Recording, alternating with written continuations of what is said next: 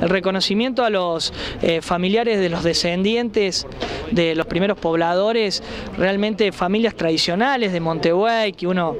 aquellos que hemos nacido o aquellos que hace tiempo que permanecen aquí en la comunidad, los reconocemos a, ese, a esos apellidos y que han visto cómo Montevideo se ha ido desarrollando y creciendo a lo largo de esta historia. El reconocimiento a los mayores de 90 años, una gran cantidad de abuelos, como decimos nosotros, que también ellos fueron quienes participaron en estos 100 años viendo cómo se desarrollaba este Montevideo